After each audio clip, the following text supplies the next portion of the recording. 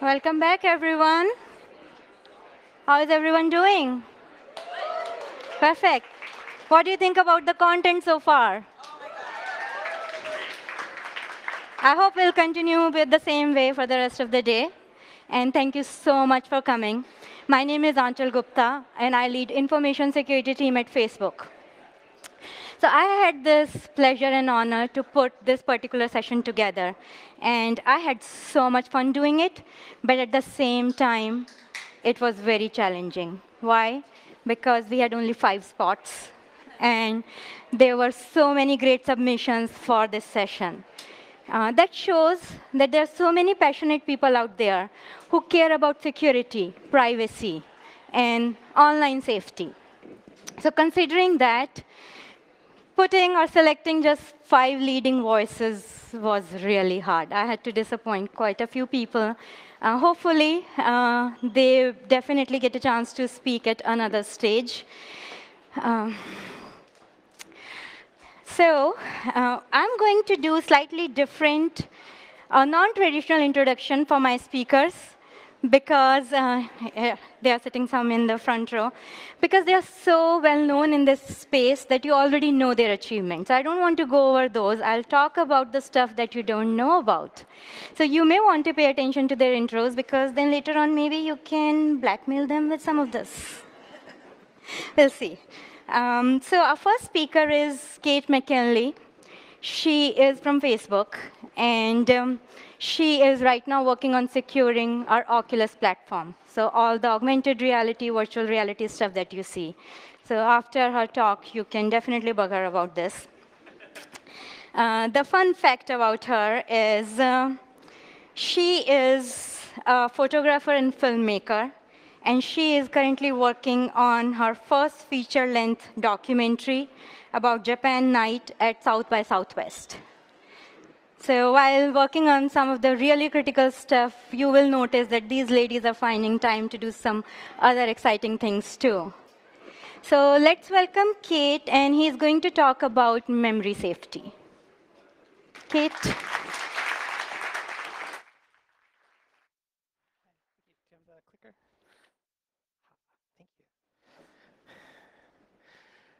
Thanks for the introduction, Anchal. Um, I'm Kate McKinley. I'm security partner for Oculus at Facebook.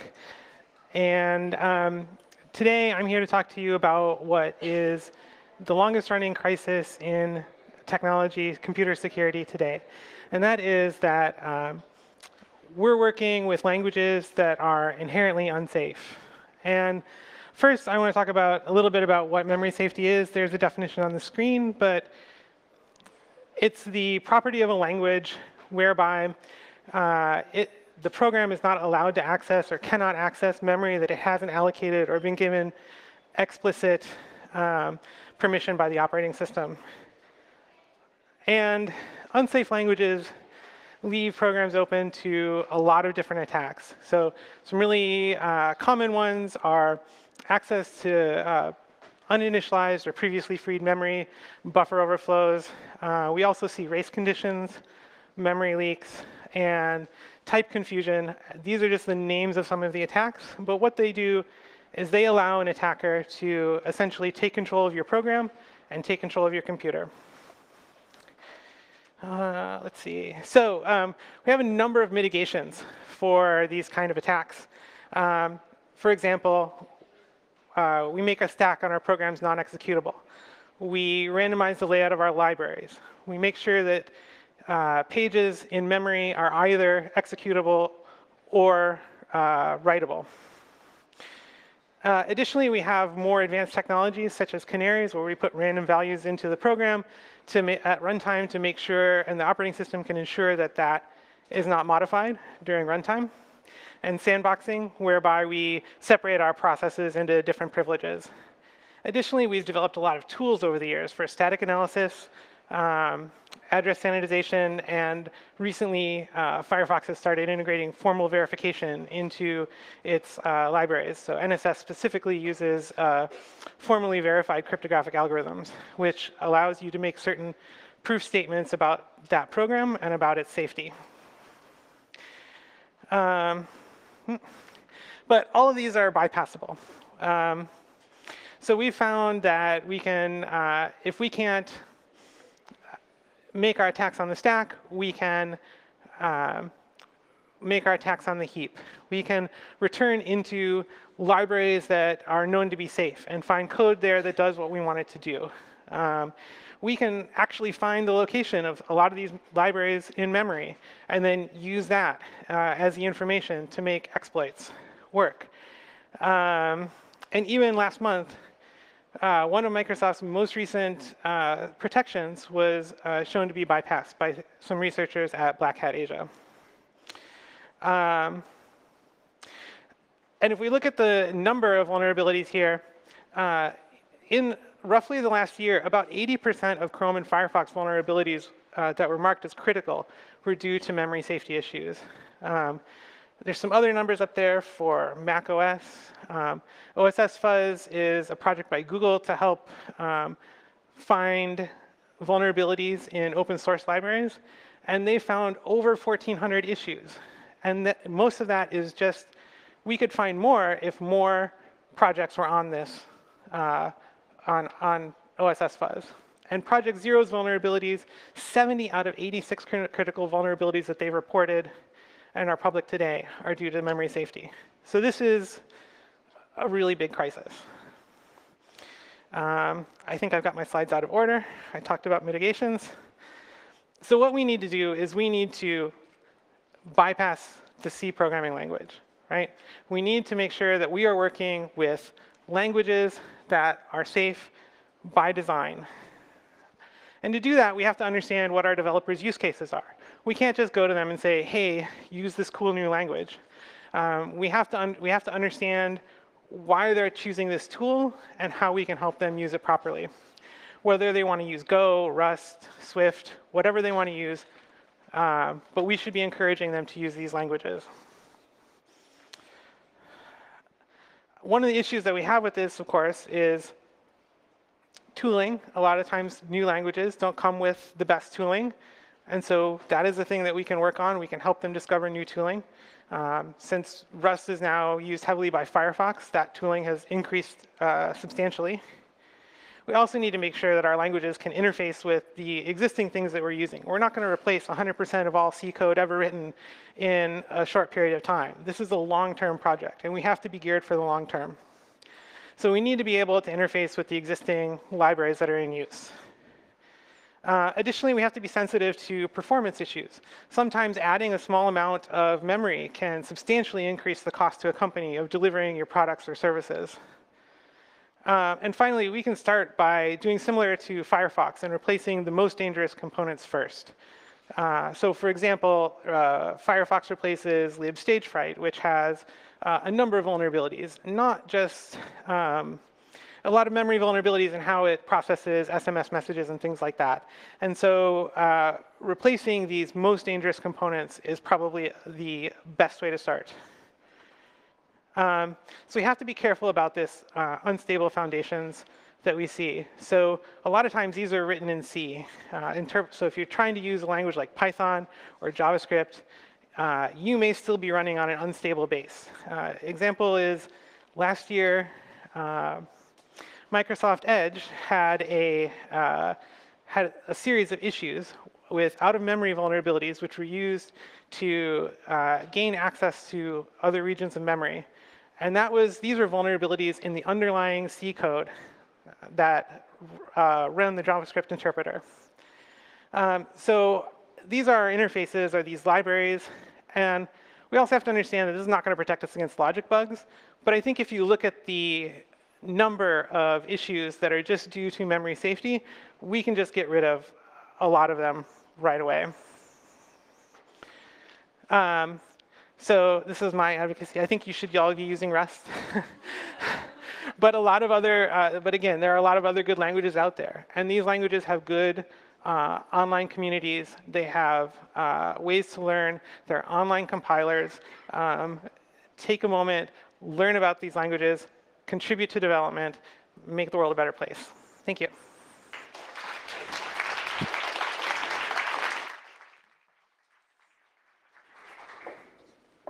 Thank you, Kate. That was excellent. So our next speaker is Leigh Honeywell, and she is at present a technology fellow at ACLU, but that's going to change very soon. In four weeks, she is starting her own security company. So if you're looking for jobs at startup, you may want to talk to her. Um, fun fact about her, and I want to make sure I get the uh, number correct here. She was once 804th best downhill ski racer in the world. so, come on over.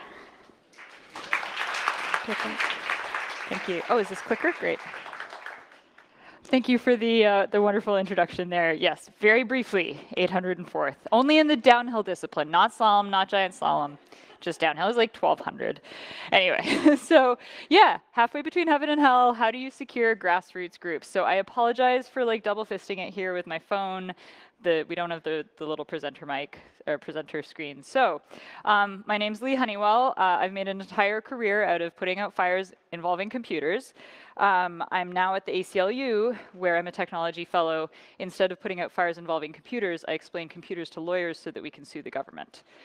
Um, so this is, uh, this is the Golden Gate Bridge. In 1933, the Golden Gate Bridge made history by making an unusual decision for the time. They spent $130,000 of 1933 money, which is like a couple million dollars of today money, um, putting a net across the bridge.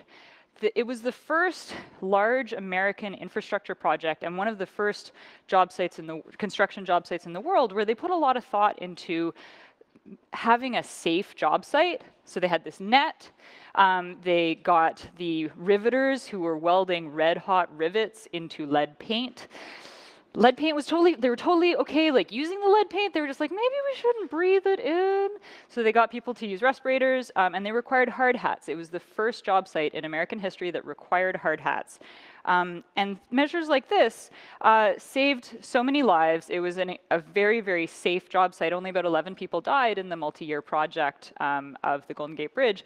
Uh, these are six of the 19 members of the Halfway to Hell Club. Um, falling off the bridge while it was under construction was called Going to Hell. And these were six of the 19 men who, in the multi-year construction of the bridge, were saved by the net. Um, so the reason I bring this up is to get you thinking about safety and what, what safety is in software, what it means to be designing software that is safe for its users. Um, in November, uh, December of 2016, um, about 3,000 people, maybe a few people in this room, signed a pledge uh, called the NeverAgain.tech pledge, pledging to refuse to participate in building the engines of deportation and the engines of genocide, uh, refusing to build databases of people by their religion, thinking about data minimization in software and where we should be just like deleting data, not having data. There's a great tweet sometime around fall 2016 that was like, uh, the last line of defense for user safety is a bunch of SREs with sledgehammers. Um, but it doesn't always need to come to that, right? We can, we can get ahead of the game. And uh, the pledge was 2,800 technologists saying, we are going to get ahead of the game. We're going to think about where we should be deleting, tech, deleting data, um, refusing to collect data in the first place, and designing secure systems that minimize our need to, to have insight into people's data. So some of the things that I learned from this were about the actual safety piece, but I learned a bunch of meta things in organizing this pledge um, about how to work together with people securely in a loose-knit fashion, fashion across organizations. Um, because when we're, we're talking about designing software, we often think about designing software for companies that are like somewhat well-defined collections of people that have sort of boundaries and you know the firewall people have been saying the firewall's dead since i like before i was even in this field which was like 10 years ago um, but there's still the idea of like a perimeter your your organization has a list of employees um, and and even if you're interacting with other organizations there's sort of like those are those are known interactions. You've got a, a contract with the other company that you're sharing data with. Um, but we, eh, we're starting to see a lot of work styles like BYOD and BeyondCorp and all of this stuff where people are like, oh, maybe it's actually nice to work in a lighter weight way. And then, of course, there's people who are fighting the good fight to protect individual users, whether it's the Bird site, Facebook, all of these other things, thinking about ways to do user education, authentication based on people's like social connections and relations, two-factor authentication, getting people to do that kind of thing. And also thinking about like how can we just take ourselves out of the, the equation, whether it's end-to-end encryption or again that data minimization piece. And that's why you know I'm really glad to see people doing things like implementing, even if it's just a little secret conversation mode that you have to drop into. It's really great for like sending my sister my dad's passwords when he forgets them, which is frequent. Um, but yeah, a lot of a lot of organization is fundamentally a loose knit collaboration of people using tools that have been designed for a soccer team to do activism and more serious things, but they're using tools that are not designed for that. Um, so as you're building new systems, as you're building new products, the, the thing that I ask people to think about is what is that squishy middle piece that is not an organization, but not just an individual? And how do we enable and build secure systems that protect those users? And some, some of it is getting the actual users to shift to like a security culture, right, of minimization, of least privilege, of all of these sort of buzzwords that we know as security professionals. How do we get the people using our software, using our products to be thinking about that? And one of the things that also got me thinking about is that there's, with all of these like civil society groups that are organizing, um, whether it's the current administration or other countries around the world that have governments that are even more hostile, um, we as security professionals have a responsibility to reach out to those groups and not just be like, use Signal, use Tor, but really work to understand, I mean, that's important, but work to understand what those groups' needs are, how we can help as security experts, share our expertise with them. Um, and to also be remembering that there's, there's two big buckets of adversaries, those operating inside the law and those that don't care about the law. And to think both as we're protecting organizations, individuals, and the squishy middle in between of collaborating individuals, um, that those are both of our, threats. like we have to be thinking about both of those threat models. And one of the reasons that I had all of these realizations in, uh, in working on the Never NeverAgain.tech pledge and in my more recent work at the ACLU was getting to work with a lot of people who were not like myself. And I think that sort of lines up with what we're doing today here to, to see what are, the, what are the people working on security issues that don't look like ourselves, uh, working to, to reach out to those people, reach across whether it's the aisle, the cubicle, um, or the, the conference room and say, like, hey, what do you think about this? What has your experience been that has been different? And how can I use that to, to be a better security practitioner? Um, so I had a long rant in this last slide about what I'm doing at the ACLU, but I'm not going to be doing it for much longer. So you if you go to my Twitter, you can find the job posting if you're interested in explaining computers to lawyers so that they can see the government. Um, and my slides will all be up here. So thank you very much.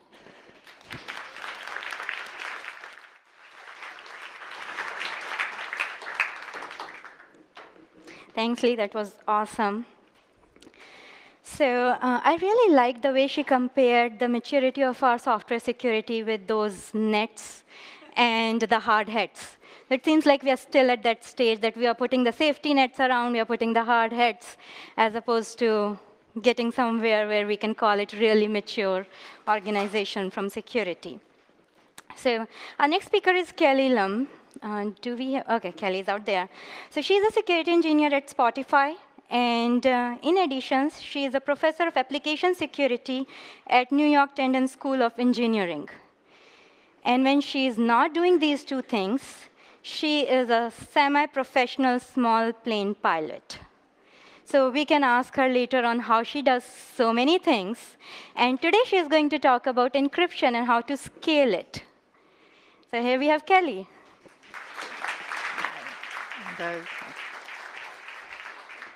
Awesome. Uh, everyone can hear me all right, I, I presume. Um, first of all, thank you so much, uh, RSA and everyone for having me. It truly is an honor to be one of the few selects. Uh, I see they're going to start talking crap about me up on that screen, so I'll try to not look that way. Um, this is not about something that I'm currently working on at Spotify. This is something that I worked on uh, maybe in uh, a life or two ago, but my life was uh, when I worked for Tumblr, my life was all about certificates. I couldn't, I could not spend a single day without thinking about certificates. So And I think we've been thinking about encryption, uh, HTTP, TLS, whatever we're calling it right now. We've been thinking about this for ages and ages, right? And so this is my life in the cert trade. This is a Boysetsfire reference. If you uh, recognize this, I'll buy you a drink. Probably not. But who am I and why would you care about anything I have to say? I've been around the block, started out in the government, worked for finance for a while. Now, uh, Tumblr, Spotify, kind of getting into that whole um, waking up at 10 in the morning, getting wear, wear jeans lifestyle. So here's what the problem statement was at uh, Tumblr, and I'm probably actually going to go under time because I talk really fast, unless I go on a rant. Uh,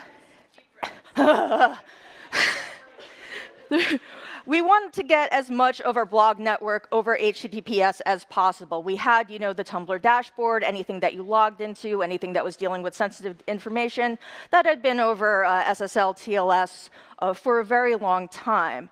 And there were two problems with getting the blog network over HTTPS. One is that we had sort of a mixed content issue. Um, we had a lot of users who didn't really understand why they should have their blogs encrypted. And then there was also the problem that a lot of people had custom domains, right? The people who actually wanted their blogs encrypted didn't really, they really wanted it for money purposes, for SEO purposes, basically to make it their overall organization look cool and secure.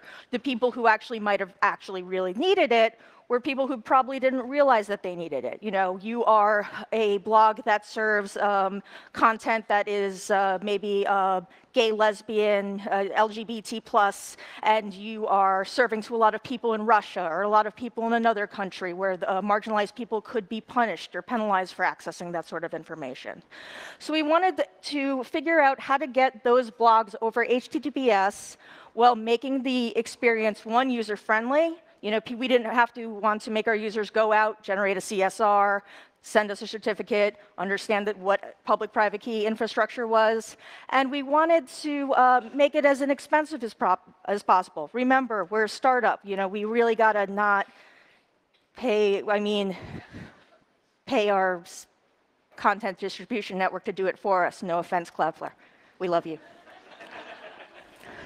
So then this wonderful thing came along, and it seemed like a miracle. It was really great for everyone. Let's encrypt. Love it. Love it, love it, love it. Um, just, but the impression of Let's Encrypt for a lot of people, they're like, oh, okay, I click a button, I install an app, all of a sudden I have a beautiful certificate that I can pop onto my web server. Um, not so easy when you have thousands and thousands of web servers in your infrastructure, right? Not so easy when you have a lot of different domains owned by a lot of different people, a lot of different individuals. It's not just Tumblr domains, it's not just um, company dot whatever makes chocolate.com domain, it's individuals. Kelly wants a domain. LimpBiscuitRules.com wants a domain. Very important, LimpBiscuitRules.com. So there's lots of cool tools and clients that can interact with Let's Encrypt that can follow that process of talking to the Let's Encrypt servers, generating that wonderful certificate information and getting it so that we could put it on our servers. But is there any one that would work in our infrastructure? And now there probably is. This is something that was in the works for three, three plus years. When Let's Encrypt was very, very young, there wasn't a lot out there. Now there's a ton of stuff. So really, we couldn't find anything that worked with our infrastructure. PHP, it's beautiful. Um, but how does Let's Encrypt work? Just as a gentle primer, want to also just kind of get people to understand the problem statement that you can't really just tell a user, oh, you want an encrypted website? Use Let's Encrypt. What's wrong with you? It's so simple. There's a lot of different steps that you have to do. One, you have to let Let's Encrypt know that you want a certificate for a domain. I'm not going to read all these slides. You can get them later. Two, Let's Encrypt is going to say, you want a certificate for that domain? Prove it. Here's a challenge. Here's a thing that you have to sign all your stuff with. Host that challenge, and, we'll, and if you can actually host that on that domain, we like you. We'll let you have a certificate. Once you prove that you own that domain, then you can then talk to Let's Encrypt. Let's Encrypt will say, you're good, you're copacetic, give us a CSR. That's when you actually do get your certificate information. But that's only half of the problem. We understand how the system works. That doesn't seem so hard. But what does the actual communication format look like? Does anyone here like reading RFCs? I fucking love it. Sorry. So what, is that, what does that communication look like? Is there a header? Is it in format in, in, in XML? Is it a JSON uh, payload? We had to really figure out, look at a lot of previously written code, look at the RFC, or lo look at all this stuff, and figure out how this works. So not just as simple as press the button, get a certificate again, keep this in mind. The, the, solution that, and I'm not saying this to this Let's Encrypt. Let's Encrypt saves our lives. Let's Encrypt made us able to provide this service for our customers in a way that they didn't have to understand how to do anything. All they had to do was flip a little switch, and they didn't have to pay any money for it. Accessible and just so much easier than what we had before. But then now how do you get those certs? And I, I kind of underestimated here. I said, oh, there's a lot of little databases and oh, there's a lot of servers. Thousands of servers, right? Distributed, uh, digital, distributed computing, right? Lots of databases in the back with private sensitive information, lots of, uh, lots of uh, web servers in the front that need to have our certificate stuff installed. So we made a Scala service. That's it keep all of our private secret stuff back here, have something that can cache those requests, and if we do have a request coming in for a domain where we haven't loaded that certificate information, we reach out, grab it, and pull it in. Very sort of dynamic. Do you have a uh, is this uh, requesting a site for a certificate? Do we have a certificate? Give it up.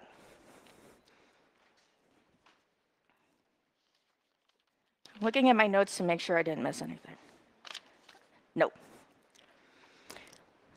I also wanted to get in, this is something that I glossed over a little bit, is in terms of our design decisions. We really wanted certificate usage to be opt-in, one, because it really was all about that user experience. You flip on HTTPS, TLS, whatever, for all of your sites, it's going to break a lot of stuff. You may have hard-coded links that all of a sudden don't work. You may have um, um, JavaScript that isn't going to load because of mixed content problems. The same thing with cascading style sheets. All of a sudden, your beautiful uh, page that you, that you paid a designer thousands and thousands of dollars looks like something from 1998 not cool.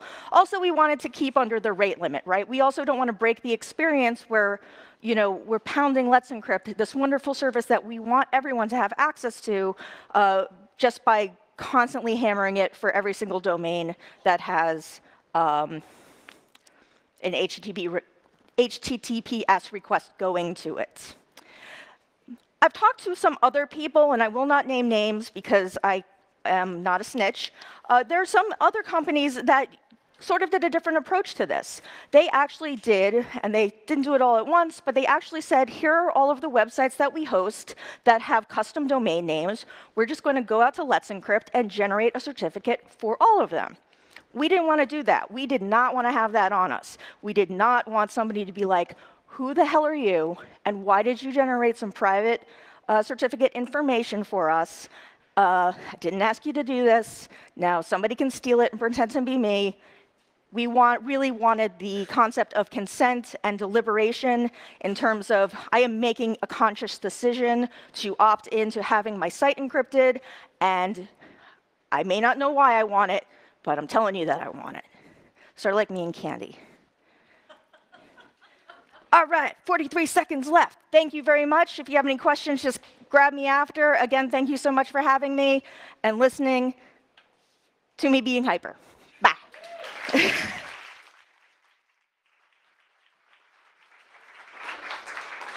Thank you, Kelly. That was amazing. I think um, she has set a really good example as to how we as security experts should think about providing solutions.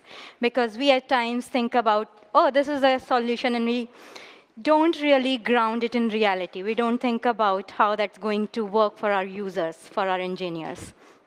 So next up, we have Jen Taylor from Cloudflare. She is head of product and design. And um, when she is not doing product security advice, she is doing whitewater rafting guidance. So she was at one point a professional teacher slash coach for it.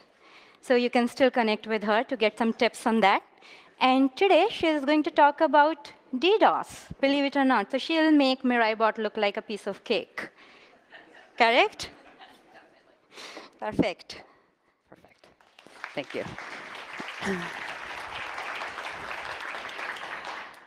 Hi, I'm Jen Taylor. I'm head of product and design here at Cloudflare. And at Cloudflare, we have over 8 million sites and applications on our network, uh, which means as a result of serving individuals, large enterprises all over the globe, we see a, a broad variety of traffic. The good news is a lot of that traffic is good. The bad news is a lot of that traffic isn't. Um, but what we do here at Cloudflare is inspect our traffic to identify threats uh, and then focus on ways that we can understand them um, in the industry and help mitigate them. So specifically, when we look at DDoS, I want to orient people as to sort of what the world looks like to an attacker. There are kind of two ways they're going to get you, right? The first is kind of kicking it old school, which is kicking a lot of traffic over your network. So basically, flooding your network with huge volumes of traffic, basically to clog up your pipes. And that's kind of when you read headlines about big DDoS attacks, these are the things that typically hit the headlines because they're sexy, right? It was this big, and it's very compelling.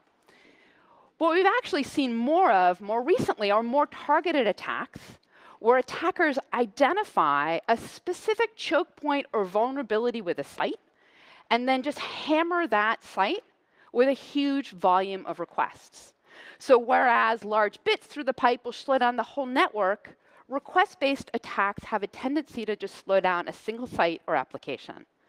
And of course, there are those enterprising attackers that manage to do it. When that happens, frankly, everything hurts. So looking at the world of those large volumetric attacks, you'll notice over the course of the last of the 10, 15 years, these attacks have grown exponentially in their size. And if you think about sort of why is that? Well, you know, if you think about like what did our networks look like in 2007? Like to clog up the pipes of a network in 2000, they were smaller. We didn't have as much capacity. Part of the reason why these attacks keep having to get bigger is that our networks and our infrastructure are just getting bigger and bigger on a regular basis. Now, looking at these attacks in the life in a year of life in a year here at Cloudflare, looking at these large volumetric attacks, you'll notice that they're fairly consistent. We have some that really spike, but for the most part, they're fairly limited in the frequency. And one of the things we did last September is we announced um, unmetered mitigation, which means we no longer kick people off our network for bad traffic. And as a result, you kind of notice they really trail off in the last quarter of the year. Mostly it's because like attackers like, oh man, that's no fun. I'm going to go move on to something else. Now, that doesn't mean that the volumetric attack is dead. In fact, what we actually see with attackers is that they're enterprising individuals. And what they do is they kind of change their pattern. And so you'll notice here again, another year in the life of Cloudflare, you know, we continue to see SYN flood attacks on a fairly regular basis. You will notice, though, that after we announced unmetered mitigation, the attacks just become more spaced out. Again, attackers are sort of like, you know, it seems like they kind of got that nailed. I'm going to move on to something else. And that's kind of where we've seen the industry moving. Now, I talked about kind of life in the year. If I just look at what my last week has looked like, this is sort of what we've seen on our network. And I actually had to have our designer update the slide this morning because we had a gnarly SYN flood attack this weekend. But what is actually interesting here is that these aren't necessarily huge, like network sweeping volumetric attacks. What we're noticing is that a lot of attackers are going back to old tried and true methods using UDP protocols and reflection and amplification attacks. So here at Cloudflare, we basically have seen an attack on our network every 40 minutes for the last six months. And if you were to look at the inventory of what they are, they're some of your favorite UDP protocols. And people are like, what's going on? Like, why is that happening? Well, like, top of the list is NTP, right? That's the time protocol. And if you think about what's happening in the industry around applications and devices, I probably have like three devices on my body right now that are leveraging NTP to stay in sync via time. And if you don't lock down that server, you're creating an attack vector. Similarly, SSDP, the plug and play protocol, has also become an interesting attack vector. And this is what I actually want to spend some time on. So it's the plug and play protocol. You leverage it over port 1900. The thing that's really interesting about these attacks is that they don't need to be long and they don't need to be big. But because of the nature of the protocol, it's a chatty protocol, so you can actually, through reflection and amplification, drum up quite a bit of targeted threat attack traffic. This is how it works. an enterprising attacker spins up, probably on a cloud instance, some capacity, and spoofs the victim. They then put out an SSDP request, probably to uh, something like a broadband router that doesn't have port 1900 locked down, floods the broadband routers, and SSDP is a chatty protocol. SSDP gets the, the, the, the, the gets the request, and they're like, oh, hey, how you doing? Yeah, I'm running an iPad and a DVD, and, and the packet size that comes back to the victim is typically 22x the volume that they generated. So again, small volume, old school replication uh, and, and, and pushing it back to the victim um, directly through that. Now, I talked a lot here about what's happening in that y-axis and sort of the shifts that we're seeing in those volumetric attacks. But I wanted to take a moment to see what's, what we've seen starting to happen at layer 7, those request-based attacks that are happening at the application layer. And if you'll notice here again, life in a year of Cloudflare, um, if you look what we're seeing in terms of layer 7 attacks, it's fairly consistent. It's actually growing in some cases. And you'll notice our intention around unmetered mitigation really didn't do much to deter layer 7 attacks. If anything, you could argue that you see actually some growth. So what does a layer 7 attack look like? So this is a small IoT-based attack that we saw earlier this year. And unlike the pre preceding attacks that I talked about, they only needed about two gigabits of traffic to generate this attack. Not a lot. But what you'll notice is it, they generated 2 million requests per second. And if you turn around and you point that at a large enterprise, you can bring a site or an application down fairly quickly in a fairly targeted fashion. Two other things that I find very interesting about this attack is you'll notice it only took about 50,000 unique IPs to generate that volume of traffic. So again, you can do a lot of damage with a small surface area. And if you think about the millions and millions of IoT devices out there, yeah, I get a little yeah, nervous. The other thing you'll notice is, again, it's fairly small, it's short. Um, and what I'm actually showing you here is, is a, um, a chart of the HTTP traffic by data center. The other thing that we've noticed with these attacks is they tend to be fairly regional because they tend to target a specific device. What you're seeing here is actually a spike in traffic in this attack from our Hong Kong data center, which means that the device used to perpetrate this attack was probably an IoT device uh, in and around the China market. So in closing, what do you do as an individual? I think you continue to do what you've done already, which is put your service behind a DDoS mitigation solution. You leverage and employ HTTP rate limiting so you can throttle the traffic as you see it. And you continue to buy yourself a little extra capacity above and beyond what you typically would need so you have flexibility if those fluctuations in traffic happen. But most importantly, as we saw with the reflection and amplification attacks and with the IoT attacks, lock it down. If you're not using it, lock it down. Reduce your exposure, reduce your surface area. Um, you basically want to minimize the surface area that you present to an attacker to help perpetrate an attack. Thank you very much.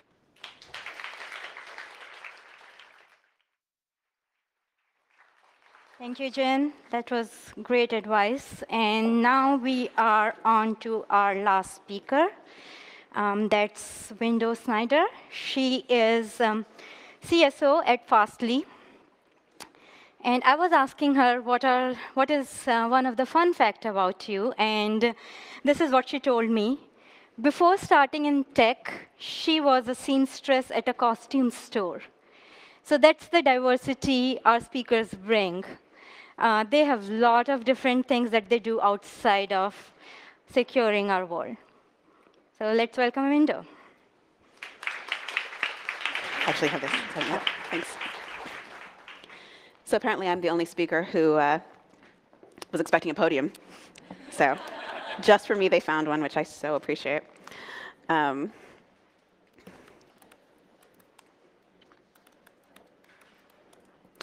so I'm sure someone can identify my password by, by that. So I'm going to have to change that, you know, eventually.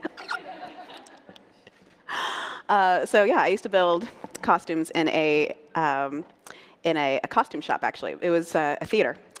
Um, so not a costume store. You couldn't come in and, and, buy them. So actually, I can I can build really froofy, like poofy, period costumes. but not very well. It actually resulted in two different trips to the emergency room. I managed to like sew through my finger. I managed to like take a steamer and like, oh my gosh. So um, it was great that I eventually moved over into tech because that was not a career I was going to last very long in. So um, I'm going to talk to you today about how to do application security with a small team, a small budget, or perhaps neither, nothing at all. Um, and uh, just to tell you a little bit about myself, uh, my name is Window Snyder, and I have worked on security teams uh, at large organizations and small organizations, at Apple and Microsoft, at Mozilla, and I'm currently the CSO at Fastly. And um, I feel like in this kind of space, you can go ahead, comfortably date yourself, and like not have to worry about, you know, what that means. I started um, as a software engineer uh, in 1995, and working on primarily security-sensitive systems. This is before we even had an application security industry. We didn't have books. we didn't have conferences. We didn't have we had hardly anything. We had uh, some folks who'd been working in this space who you know, had, had come up with some ideas. We had crypto. We had books about crypto. Yeah, that was pretty much it. Application security was essentially just crypto. So um, things have really changed, but some things really haven't. Um, and one of the things that uh, I see everywhere I go is an underinvestment in application security. Um, and part of that is sometimes it's a it's a recognition maybe late um, that you that you need this kind of work that you need this organization in your in your company and sometimes it's actually just a, a difficult time trying to build this organization. Um, so sometimes it's about like for a small development or a startup uh, for a small development environment or a startup it's it's it's easy to trade off long-term strategic choices of all sorts not just security for getting features shipped because it's it's about you know delivering um, and, and, and, getting to market and capturing the opportunity, and a lot of things, not just security, maybe reliability or uh, localization or you name it, accessibility, um, don't get the attention that they need until later in the process. And security is, of course, on that list. And for more mature organizations, sometimes they think that it's maybe their code's not likely to be targeted, that, um, that attackers will go after different weaknesses, uh, weaknesses or maybe their, their specific um, area is low risk. Um, so they decide not to make an investment into, into, into security, application security specifically, until they start feeling pain. And sometimes that's a compromise. And sometimes it's a competitor with similar technology that's compromised, and then they realize, oh, that could have been us, and then they you know, try and hurry and spin something up. And, uh, and now you find yourself, if you're this lucky person working on application security in one of these environments, which is every environment, you find yourself thinking, uh, you've got to back, your, back security into this situation. You've got a pile of legacy code. Maybe you've identified lots of vulnerabilities and you've got this massive backlog. Um, or maybe you haven't found any at all because no one on your team knows how to go looking for them. And uh, you might find yourself attempting to address a huge amount of application security work alone or with a small team. And uh, you might have the, the headcount to hire folks, but as a lot of you know, this is a really specialized space. Um, to, to really be effective as an application security engineer, you probably were a developer for some number of years. You started working on security, and that's another several years. And to be to begin to be effective in the application security space, you're probably already in your career many years before um, you're going to be you know, really effective in that space. So of course it's hard to, hire, hard to hire those folks, and they're incredibly expensive. Um, so it's hard to build those teams. And, uh, and, and, even if you, are, you have the headcount, being able to grow as fast as the application security work piles up, especially as you start to recognize just how deep the rabbit hole goes, um, it's hard to, to keep up. So no matter where you're starting from, there are lots of things you can do to dramatically reduce the vulnerability of your code base that you can do with a really small team or with no team at all.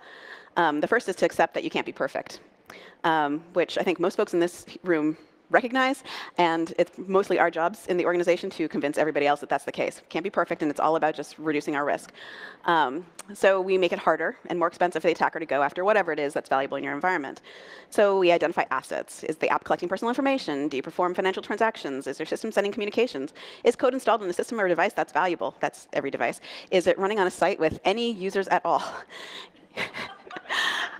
An attacker might want to go after the data you store or transmitting across the network, um, or even just capture, or even just use your app to compromise the user's device, um, like a phone, and use that as a stepping stone, an entry point into the system, because the app is probably um, getting less security investigation than every other entry point into the system. So that is uh, a reason that no matter what your app is doing, that you need to consider this for your environment.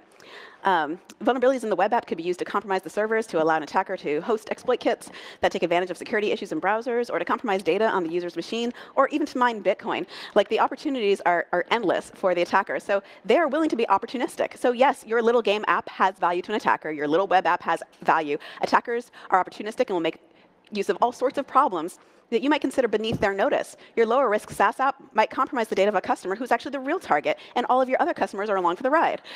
Uh, defense in depth re requires compromising multiple aspects before getting to assets. And so they might be willing to look at, let's say, the content management service that considers themselves low risk because uh, they're just hosting a copy of it, and the one thing that they're doing is, is, is, is, pushing it to wherever. So we got that thing locked down, and we don't have to worry about everything else. Absolutely not. The, uh, the this, this entire space is, is, is your problem too. So anyways, we first do the things that we all know we need to do, but for some reason we find it incredibly difficult to get done. So that's you know, building security through all aspects of the development process, whether that's the SDLC or something modeled specifically for your space. It can be very lightweight, but it needs to be a consideration at every aspect.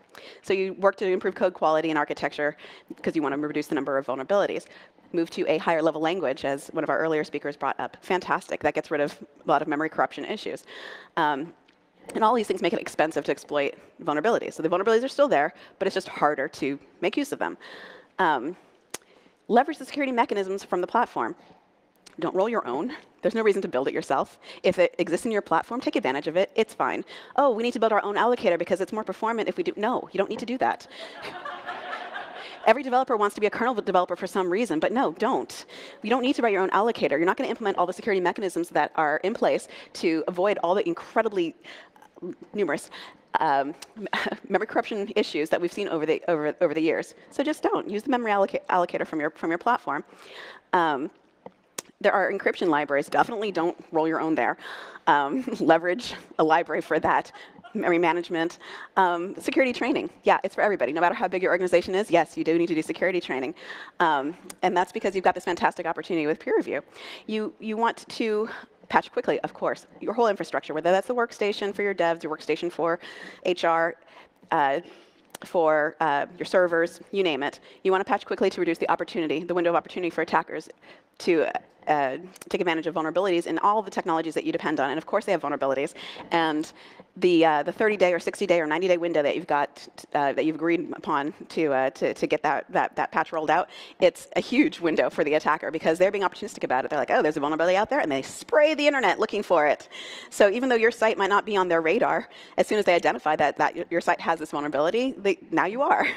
So it, it, it, you don't even have to be. They don't have to be looking for you. They can just take advantage of the fact that you're around. Reduce the attack surface area. Um, this is something you don't even need security folks to do. They can, you, you, you explain a concept to them and they can go about identifying ways to um, do input processing, for example, in one place. instead of having input validation everywhere, you've got it in a single point of uh, place. Um, isolating components. They can identify uh, core functionality th themselves and is isolate it and say, oh, this, this functionality is over here. It should happen on a separate service. Uh, these two components should speak to each other through a narrow channel. So we only have a narrow uh, uh, set of opportunities for an attacker to take advantage of a vulnerability that might be anywhere in the system because we only have you know a handful of, um, of APIs that are even available. So if, the, if, there's a vulnerability, it has to be one of these APIs in order to get from this system to that system, whatever the system might be. This might be a service. This might be a, a, an actual machine. You name it um, the engineers themselves can identify how to isolate these components, and you leverage the benefit of a pretty robust security architecture through isolation. And, and importantly, you need to reduce the, the data that you store. I, I, I think this is uh, I'm really excited, you know, one of our other speakers brought this up earlier today, that this has become something that the industry has been thinking about more seriously. But once upon a time, it was actually quite shocking to say something like reduce the, the data that you store. Because if you store it, you have to protect it. It's definitely interesting and valuable to somebody. Um, and you're probably not um, as good at protecting it as you would hope to be. So if you don't need it, don't protect it. We're not later going to come around and use machine learning on it to pull out something. And no, it's not going to happen. Um, AI might might eventually produce something interesting for your organization for, uh, on top of this data, but you can start collecting it at the point in time when you have a business need or business justification for storing that data. If you don't need it, don't use it. Um, same reason you like shred documents before you recycle them. You, uh, you don't carry all your money with you at the same time. Um, I take my laptop out of my car before I walk away from it. And part of that is because I live in San Francisco, and part of that is because it's just such an obvious security mechanism. Somebody breaks the window, I'm bummed, of course, because I have a broken window, but I still have a laptop. So, you know, these are these are these are things that we, for the most part, know how to do, but it's. Uh, it's, it doesn't get deployed at the same level that we would hope to see it deployed in industry. So uh, I think we all have a lot of things, all of our organizations have a lot of things that they want to get done, but it's incredibly difficult to justify doing these things. So these are things engineers can go around doing without you. It leaves your time for other things that they can't do without you. So you can leverage tools if you can. OK, objection. Oh, they, they they produce so many red flags that uh, we can't wade through all of, all of the output and make something useful out of it. Yeah, I know. I feel your pain. But you can outsource this out to the engineers and have the engineers evaluate the red flags in their components. Because earlier, you got them security training, so they know how to identify um, vulnerabilities in their environment. They do peer review to um, evaluate check-ins before uh, they end up being deployed into who knows where. Um, and all of this reduces the burden on the application security team, which probably only has a handful of people if you're lucky, um, and allows you to leverage um, the, the, the, resources in the rest of the organization to um, amplify the impact that your application security team has. So thank you very much. Good luck. it's a very difficult job.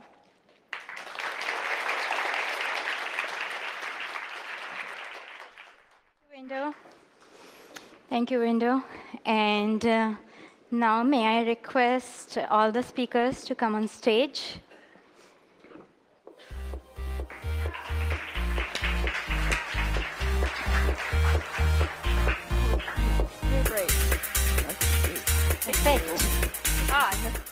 Uh, that's okay. Do you let's switch? Yeah, then I'll be able to see all the speakers in one go. Yeah. okay, perfect. So you guys talked about a lot of diverse things there, like starting from encryption to securing your network to memory safety to activist safety and uh, Window talked about like securing everything. so looking at that diversity, I was thinking um, when I was talking to you before we came together and um, spoke at this um, event, you all have very different backgrounds. Some of you started as product managers, some of you started as developers, and some of you started directly in security. So I want to hear about your experiences when you started in different careers and you transitioned over to security, or maybe you just started in security and uh, what are your experiences? Like, do you feel specific challenges? Do you feel like I wish I had not started at this particular stage versus I should have started as a dev. I just want to hear from you. And we can go in any order. So whoever wants to instantaneously go. looks at me. Okay, look left. Yeah, yeah. Uh, yeah I've, I've pretty much always been in security. Uh, that's not to say that I haven't done any uh, development, but um, uh, for me, it was always, you know, little kid, no friends, getting in trouble. Statute, statute limitations is over, so I'm not really too shy about talking about it. But um, uh, I, now that I work for uh, Spotify and also at my previous career at Tumblr, one of the things that I do think that I missed out a little bit on uh, by not like spending a little bit of time in development. So I'm a security engineer. So not only am I like breaking other people's stuff, but I'm also building uh, security mm -hmm. tools, building security enhancements. If we find a vulnerability, I can work on fixing it myself with a developer rather than you know just being like, okay, you hate me now. Um, so I think I think there's a lot of um, you know there is a lot of, of real joy that comes from ooh I broke this thing. I'm like the coolest leadest person ever you know like my my hoodie and my magnifying glass. But there is also this big satisfaction that comes out of like I made this thing work. This is my baby. Mm-hmm. and then once you are working with developers you can kind of understand sort of the psychological perspective that they're coming from when you come back to them and say hey uh, there's something wrong with your baby, how that impacts them and how you need to be a, be a little bit softer touch than just be like, I broke your stuff.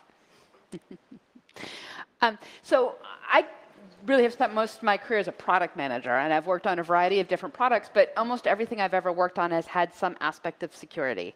Um, and I've always found that that's the thing that ends up being the most interesting to me, um, and also the most important piece of the puzzle to solve for our customers.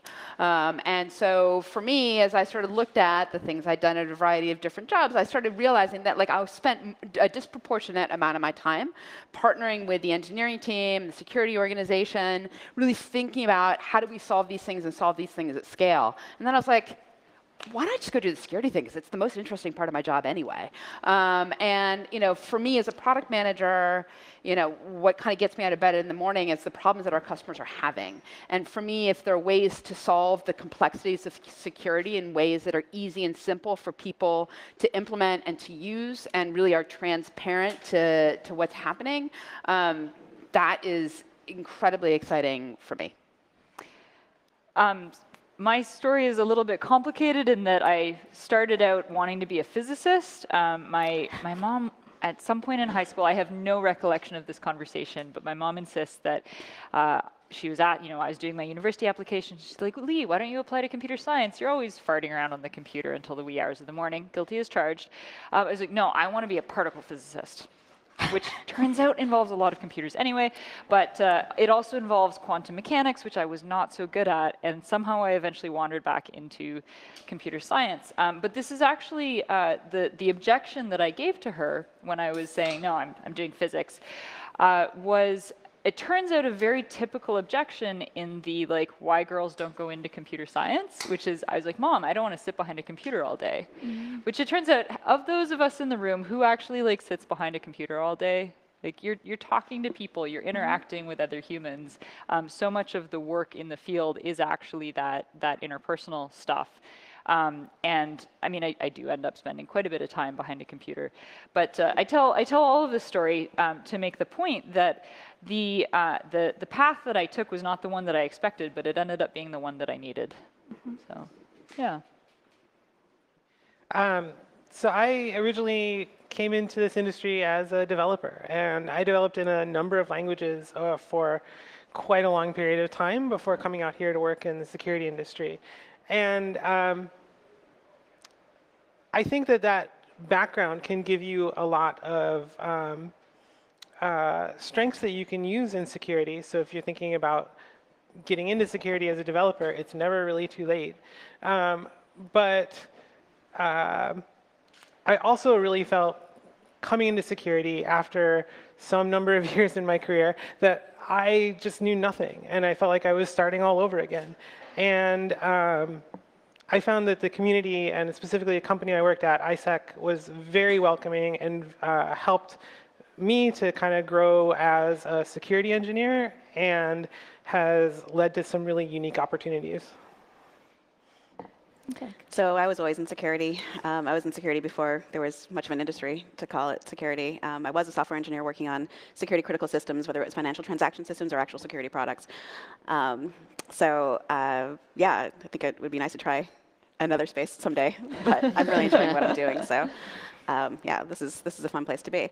Um, I would say though, if I had a chance to experience other aspects of the business, I think um, I would really enjoy that. I think one of the uh, difficulties of our space is that there are a lot of folks that are very religious about their security um, uh, practices. That they, we might hold in our heads the idea of like what the perfect security solution might be, and then anything that we do that doesn't achieve that is, uh, is you know, somebody is just they don't understand security or they they don't care about this. Mm-hmm. Um, and when in reality, of course, they have their own criteria that they are measuring, and there's a business decision behind. Uh, I mean, assuming competence, which I try to do, that there is a business reason that they are um, holding the position that they have, and maybe they also have to balance things like you know performance or cost or um, you know a delightful customer feature that they want that undermines all of the security mechanisms that you've enabled. Fantastic. That that's that, that's the real world. So I think if more of us spent more time in other aspects of the business, whether that was in sales or finance or um, directly interacting with users and customer support, um, and, and, and recognizing how expensive a security feature can be that results in customer service calls that um, you know, strip away the entire margin. I worked once in a place that a single customer service call would eliminate the entire margin for that license. And so everything that we did that resulted in a customer service call was basically saying that like that, that product is now free. Um, so these are the considerations that I, I feel like uh, as an industry we are not as open to. Um, and um, because we are used to doing battle, right? Like like trying to convince folks that you know no this is really important, and it's getting easier in 2018. But like you know for having been in the space for 23 years, um, I I feel like I've spent a lot of my career trying to convince folks that you actually need to do something here, um, and then also you should do this. That uh, I see. Um, that, that it's, it's actually uh, unusual for folks to actually consider what the other aspects of the business really, really need when it comes to considering these security, um, these security choices, and that they're not idiots, and then they don't, it's not that they don't care about security, it's that they care about a lot of things, and they've got a lot of priorities that need to be um, coordinated. Yeah. Yeah, I was myself, I transitioned from a software engineering to security. And there are two things that um, uh, have helped me is uh, one is assuming good intent, and second is having empathy. Because when you have these two things, you will be partnering with engineering as opposed to having that uh, across the table battle. So. Um, um, you guys uh, uh, are representing. Sorry, I'm so used to have been around guys. You Y'all, y'all folks. Probably this is my first panel where I have like all females, and I'm like, you guys, and you're like, what? um, so you are representing different um, uh, industries here, and you have been in this space for a little while. So how have you seen the security threat landscape change over years? And you can go in any order. Like it doesn't have to be. We have two. Yeah, I went first last time, so what was that? I went first last time. Yeah. So she doesn't want to go next. I mean, I think the big one that I've seen is the uh, we're just not keeping up, and I think a, a, number of folks made points, especially Window, about the uh, your, your, the size of your application security team is never going to grow at the same pace as your code base, basically, right? And that, that applies both within individual organizations, but also across the entire field. So we need to be thinking about like how do we how do we move beyond just that mapping of like the developer to the percentage fraction the fractional time of a security engineer to building tools that uh, multiply the effects that, that those security engineers are having because we're just never going to keep up otherwise. Mm -hmm. Yeah, I think I, I, have something to add to that, which is um, when we talk to developers, developers are not um, against security. It's not that they don't want to do it. They come to us and they tell us where their problems are. They tell us what um, they think needs to be fixed. And we need to listen to them and help them to find ways to fix their own issues and to get the business to prioritize these issues. Um, versus uh, always coming down like a hammer on developers. Like they are caught between us and the business, and we need to be the ones to kind of be on their side. I, have seen a, a, lot of movement, and maybe this is just because of the trajectory of my career, but I've seen a lot of movement where people are more moving towards empowering uh, developers to be have the security tools and have the security knowledge so that we know um, the security team isn't acting like as the mother, father, may I, you know, where they have to come to us for every little thing or everything has to get rubber stamped where we can allow them to effectively and trust them to effectively uh, assess risk and, and uh, what, what their threats are so that um, one, the business doesn't just look at security as this thing that we have to pay for. It doesn't make us any money. It looks as, at us as an enhancement to the, to the development uh, process as a whole. Yeah, I think for me, I've noticed the conversations with the engineering organization have shifted from at the end, right before you're about to go live, whoa, have you talked to security about it? To this sort of mm-hmm. like, a, a much more kind of proactive approach where kind of earlier in the development, earlier in the life cycle, those conversations are occurring. And increasingly, the tools that we're empowering the engineering organization with have a lot of those principles sort of already built in and baked in. And so there's kind of this proactive kind of guidance and conversation that happens at the front end rather than sort of the reactive potential kind of after the fact. Yeah. Um, it's a lot less expensive that way. And I, and I just, I mean, just in terms of like the psychic overhead of, of how you work is just, it's much easier if you can have it seamlessly happen up front. And I think everybody's realizing and kind of feeling the benefit of that. Hey, One of the it's things I- Thursday. We're deploying tomorrow. Can you run a pen test? Yeah, yeah. It's like, um, huh. Yeah. One of the things who I find really us? interesting Yeah. about Huh. the changing threat landscape is all the new and creative ways folks have found to monetize compromised devices and, and, and computers. It used to be once upon a time that like uh, they would compromise a website and then they would you know, maybe deface it because you know they weren't actually trying to make money off of it. And then well, they're hosting an exploit kit, they're using that to compromise devices, and then those devices we turn into a botnet, which would be used to send spam. And then it was like, oh well, there's actually all kinds of interesting users and passwords. I can bundle that up and sell it on on a, on, on on the black market and get uh, money for like you know a couple million username password combinations, et cetera.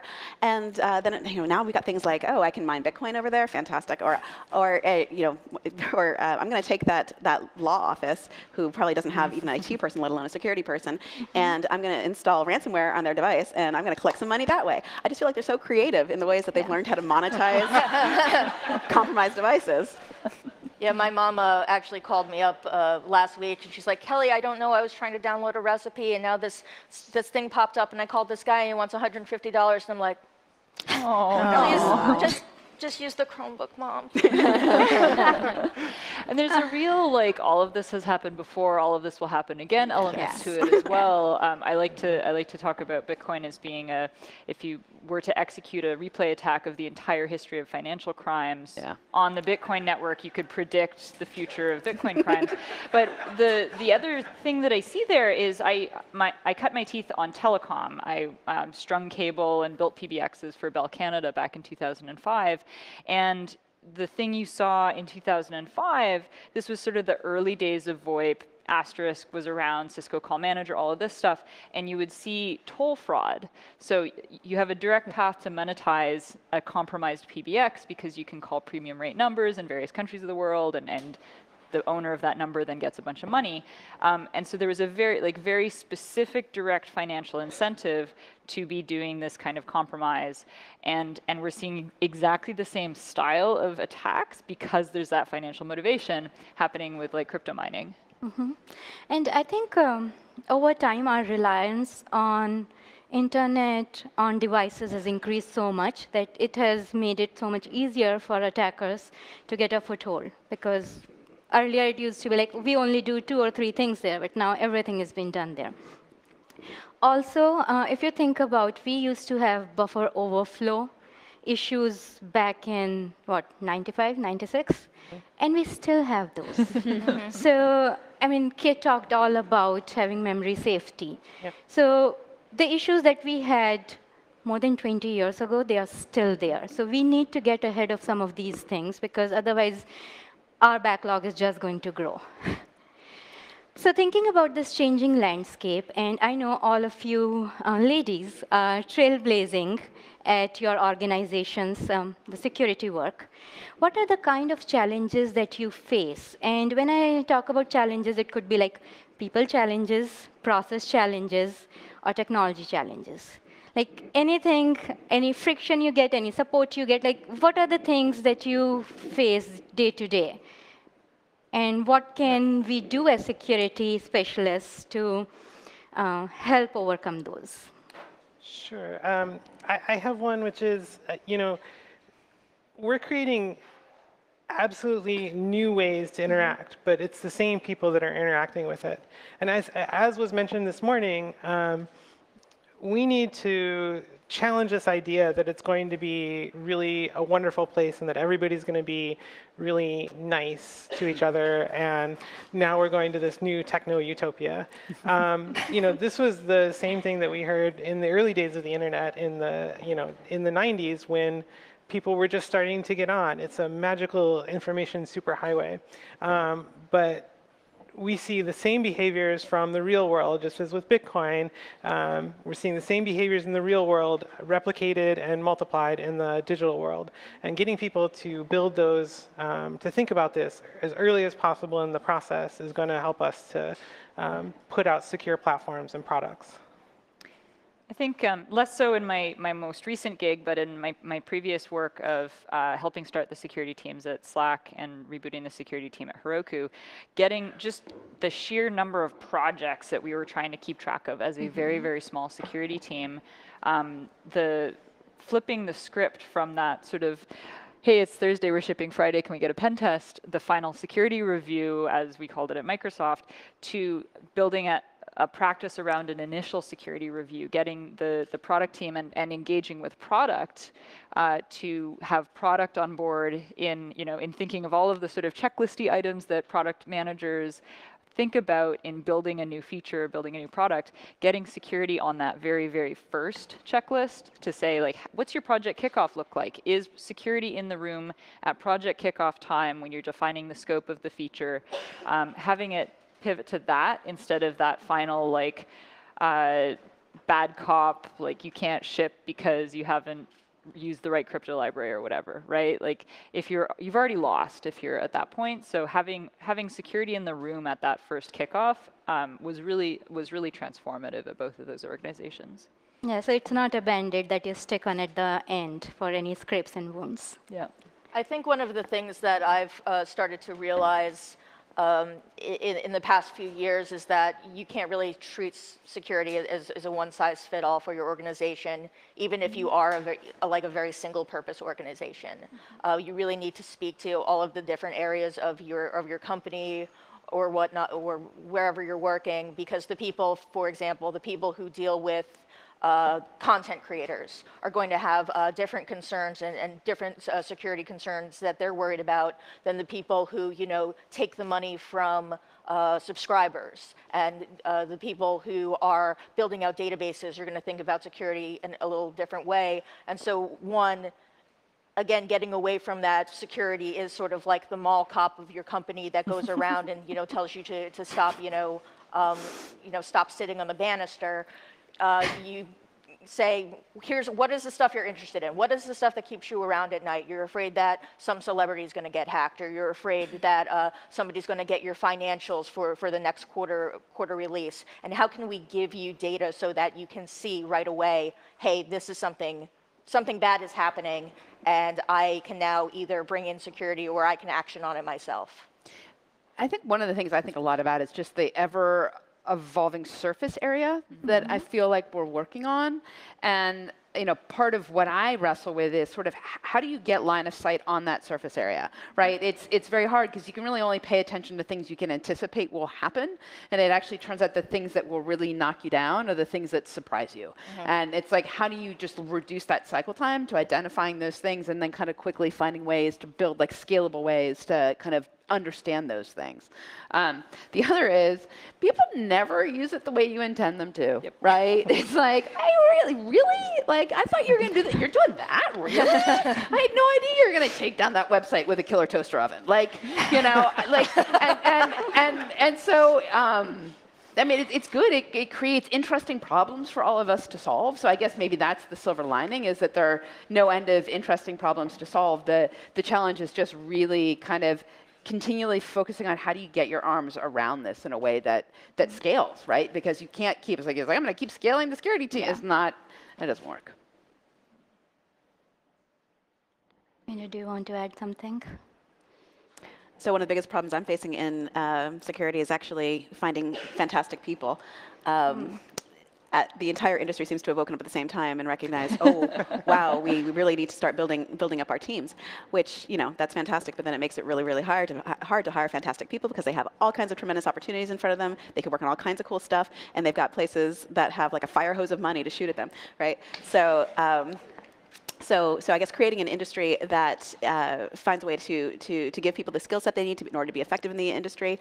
Um, one of the other uh, talks I was thinking about doing in this, uh, uh this slot was um, how to go from being a, a, software engineer to a application security engineer. And um, of course, it's the wrong audience for that because you guys are already in security. So I got to find another like a dev conference or something where you can say like, hey, come join us. It's fun over here. One of us. Um, but you know, I think I think creating a um, uh, a, a, better um, uh, way to get folks into security with the right skills that they need in order to like be effective on day one.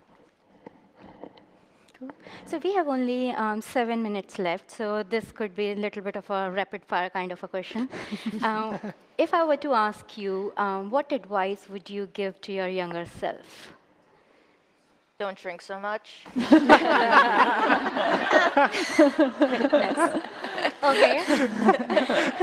I, uh, but, no, but, well, that, but uh, also I would say be less afraid to ask questions. I think, uh, yeah. you know, I think, I don't think there's, uh, there, I think there are very few people in, in this room in general who have uh, not suffered from imposter syndrome, mm-hmm. and especially me growing up being around really, really smart people, I always kind of felt like I had to know all the answers and that I was stupid for not being able to figure things out right away. So, but I think also now that I teach, the, the fact that you are asking questions, pointed questions, that you are showing your curiosity and passion, it really goes a long way, not only for your personal enrichment, but it also shows people that, that you're someone who's not here just because, oh, I heard security makes me a lot of money, but you're somebody who really wants to learn. I think I would build on that by saying and follow your curiosity. Yeah. Like the most interesting experiences, conversations, adventures, mishaps, whatever have happened when I've just allowed myself to ask the questions and follow my curiosity. Mm-hmm. Um, and the, the, the biggest misses in my life have been when I sort of sat back on the sidelines and, and didn't engage. Yeah. And so for me, it's just that curiosity is go with it. And also don't just get into a field because you think you're you think it's sexy, get into the field that you like wake up every day excited to work on. Yeah. I think the big one for me uh, over the past year, I've been struggling with some burnout and just remembering that this whole career thing is a it's a marathon it's not a sprint mm-hmm. and that it's it's okay to have you know the couple of years at one job where you like really go pedal to the metal and you stay you stay those late nights and you you, you bust your butt and then have the have the year where like you, you you put the brakes on a little bit and you recover a bit and i think um, having that being being willing to see sort of multiple sides of, of the career path as because hopefully, hopefully you're all going to be doing this for the next two, de- two three decades, uh, because there's, it's not like the work's going to slow down. so um, setting up for the long haul, I think, is the the big thing that I, I wish my, my younger self had taken more vacations. okay. Um, I mean, these folks have already said some of the things, um, and I and I would just add to that that take risks. Like mm-hmm. really um, do things that are difficult, do things that are, um, th- sometimes they're not going to be fun, right? Um, as Anshal mentioned, I'm making a documentary. I have thought about quitting this several times, but I'm doing it because it's something that is absolutely a big risk for me. It's something I don't know how to do and that I'm learning how to do as I go along. And it was the same getting into security and it was the same getting into programming. So just take the risks. So I, I have a couple of times told this story about how I found the hacker community as a teenager and um, uh, how I bought my very first Vax. It was a Microvax 2, and I was I went to the MIT flea because I knew that there were these these uh, these guys selling a, Microvax, a Microvax, and they had posted on a BBS that I was on, so I, I was going to go find them. And you know, I tell the story about wandering around looking for these folks. You know, have you heard of the L0pht? Have you heard of the L0pht? Have you seen a Microvax? Is someone selling a Microvax? And um, I, I know what I was wearing on that day because I was wearing a pink T-shirt. I had my hair in pigtails. I was wearing really short, short cutoffs, and I was wearing these these really clunky Fluevogs. It was like early '90s, like personified. And uh, you know, I, I felt cute, and and you know, I was walking around in this environment where um, so ham radio operators don't dress like this. and you know, it was a very different space. And I, but I remember it, and it stuck out in my mind um, because, you know, so so I, I bought the Microvax, and I started um, finding more people who were interested in the stuff that I was interested in. I fell into this community, and, you know, I, I had the skills to be, you know, effective and and and contribute, and that was amazingly lucky for me. Um, but almost immediately, I started wearing really baggy jeans and really baggy shirts and flannels, and just covering myself from neck to ankles. And I think somehow I didn't want people to notice that I was a girl. And I say girl because I was a girl back then. I was a teenager. and um, and then for like another, I don't know how long. I'm still wearing black head to toe, I guess. But like, but um, there was this really long period where I I, I, I, didn't want people to, to recognize me as, um, as, as a girl and then a woman. Um, and we weren't professionals. We were, you know, a, a, bunch of, let's say, security enthusiasts who were, you know, it was, it was, it was a social arrangement. Even, after, even once I started working professionally and, um, and doing this, I still was somehow, um, early on, scared to uh, be thought of as just a girl. And um, so I would go back and tell my younger self that it's okay to be a girl. Not right now, and it's going to suck. And um, yeah, all the stuff that you're going through, you're, you're going to go through. But you know, you'll come out on the other end. You'll be you'll be fine. You could be a girl in these years too. You don't have to like you know. Um, I think I saw at, at, a conference, this woman speaking, and she was um, a CXO of some sort, and she had really long hair, and she was wearing makeup, and you know that was the first time I'd seen an executive with long hair, and I was just like, I, it, I, it, I was just like, oh my gosh, I, I can't believe I never saw one before. It never like occurred to me that that um, if you, you didn't have curly hair, it was, it was definitely you know wrapped up really tight, and it was, it was constrained in some way. Um, you didn't see a lot of really uh, uh, obvious demonstrations of femininity. Um, I remember there was an executive at Microsoft. I went and had a conversation in, in her office, and she had sitting on the, like, the edge of her desk, like in a, in a not, not in an obvious way, this really bright, beautiful green handbag, and it was just this beautiful expression of femininity. And I was just like, oh, and it like, and it occurred to me that like, oh, I guess I don't see that among executives, and I don't see the, the long hair struck me as well. It's just like we're all kind of reining ourselves in, um, and somehow it's not okay to be a woman in this space. And you know, I feel like you know, the industry changes when we change it. So um, I would tell my younger self, it's okay to be a girl, and then I would tell like my less young self, it's okay to be a woman. Um, and I feel that now, and I rock it for sure. But like, um, yeah, my the younger self mm -hmm. was mm-hmm. definitely afraid of that. Yeah. So great set of advice from each one of you. If uh, you were to ask me, I would say, be bold like these ladies. so thank you very much for sharing your thoughts and ideas. And thanks for making time for this. Thank you.